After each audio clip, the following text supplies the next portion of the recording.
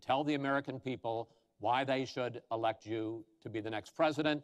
This is another new mini segment. Secretary Clinton, it's your turn to go first. Well, I would like to um, say to everyone watching tonight uh, that I'm reaching out to all Americans, Democrats, Republicans, and independents, because we need everybody to help make our country what it should be, to grow the economy, to make it fairer, to make it work for everyone. We need your talents, your skills, your commitment, your energy, your ambition. You know, I've been privileged to see the presidency up close. And I know the awesome responsibility of protecting our country and the incredible opportunity of working to try to make life better for all of you. I have made the cause of children and families uh, really my life's work. That's what my mission will be in the presidency. I will stand up for families against powerful interests, against corporations. I will do everything that I can to make sure that you have good jobs with rising incomes, that your kids have good educations from preschool through college. I hope you will give me a chance to serve as your president. Secretary Clinton, thank you. Mr. Trump? She's raising the money from the people she wants to control. Doesn't work that way. But when I started this campaign, I started it very strongly. It's called Make America Great Again. We're going to make America great. We have a depleted military. It has to be helped, has to be fixed. We have the greatest people on earth in our military. We don't take care of our veterans. We take care of illegal immigrants, people that come into the country illegally, better than we take care of our vets. That can't happen. Our policemen and women are disrespected. We need law and order, but we need justice too. Our inner cities are a disaster. You get shot walking to the store. They have no education. They have no jobs. I will do more for African Americans and Latinos than she can ever do in 10 lifetimes. All she's done is talk to the African Americans and to the Latinos. But they get the vote, and then they come back. They say, We'll see you in four years.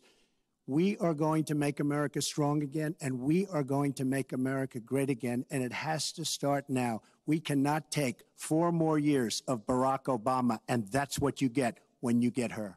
We have to have strong borders. We have to keep the drugs out of our country. We are right now we're getting the drugs, they're getting the cash. We need strong borders. We need absolute, we cannot give amnesty. Now, I want to build the wall. We need the wall the Border Patrol, ICE, they all want the wall. We stop the drugs. We, we shore up the border. One of my first acts will be to get all of the drug lords, all of the bad ones. We have some bad, bad people in this country that have to go out. We're going to get them out. We're going to secure the border. And once the border is secured, at a later date, we'll make a determination as to the rest. But we have some bad hombres here, and we're going to get them out. I would hope that the Senate would do its job and confirm the nominee that President Obama has sent to them. That's the way the Constitution fundamentally should operate. There's no doubt that I respect the Second Amendment, that I also believe there's an individual right to bear arms.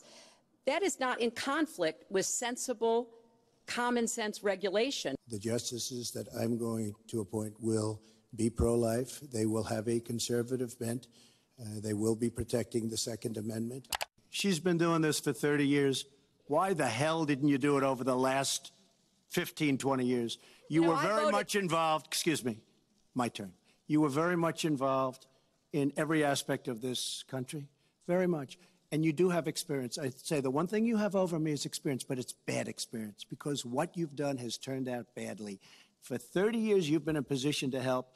And if you say that I use steel or I use something else, I make it impossible for me to do that. I wouldn't mind. The problem is you talk, but you don't get anything done, Hillary. You don't. Just like when you ran the State Department, $6 billion was missing. How do you miss $6 billion? You ran the State Department, $6 billion was either stolen, they don't know. It's gone. $6 billion. If you become president, this country is going to be in some mess, believe me. Our national debt as a share of the economy, our GDP, is now 77%. That's the highest since just after World War II. But the nonpartisan Committee for a Responsible Federal Budget says Secretary Clinton, under your plan, debt would rise to 86% of GDP over the next 10 years. Mr. Trump, under your plan, they say it would rise to 105% of GDP over the next 10 years. Question is, Why are both of you ignoring this problem? Mr. Trump, you go first. Well, I say they're wrong because I'm going to create tremendous jobs. And we're bringing GDP from really 1%, which is what it is now. And if she got in, it'll be less than zero. But I'm going to create a the kind of a country that we were from the standpoint of industry. We used to be there. We've given it up. We've become very, very sloppy. We've had people that are political hacks making the biggest deals in the world, bigger than companies. You take these big companies, these trade deals are far bigger than these companies.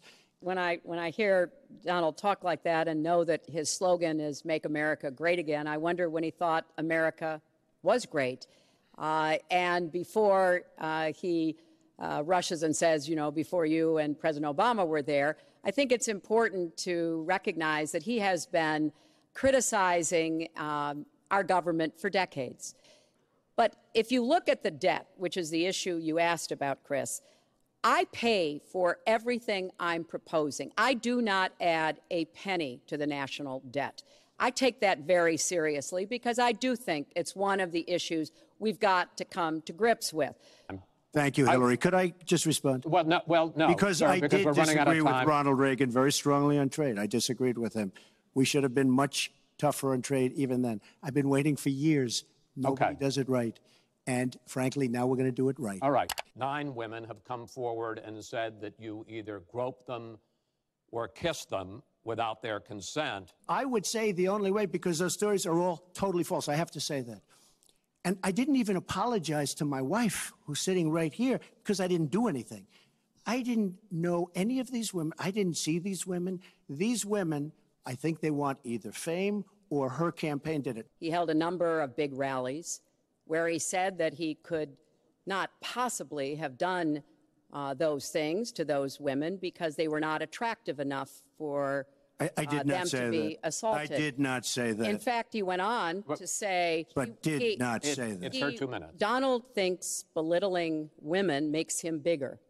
He goes after their dignity, their self worth, and I don't think there is a woman anywhere who doesn't know what that feels like. Nobody has more respect for women than I do. Nobody. My Social Security payroll contribution will go up, as will Donald's, assuming he can't figure out how to get out of it.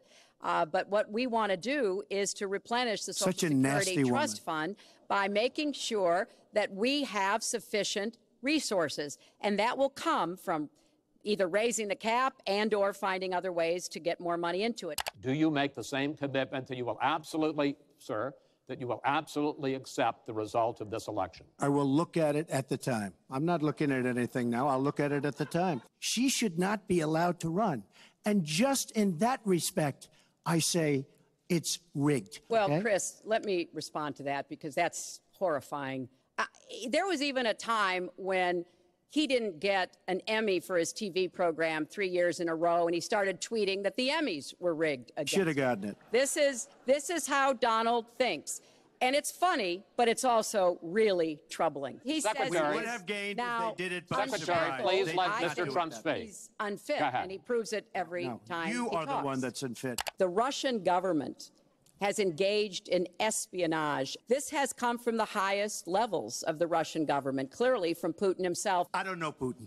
He said nice things about me. If we got along well, that would be good.